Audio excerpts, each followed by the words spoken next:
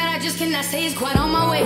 You bitches riding on all my waves, but you bitches tired and underpaid. And show they got zero percent on the publishing, cause she don't write the shit she say. Cause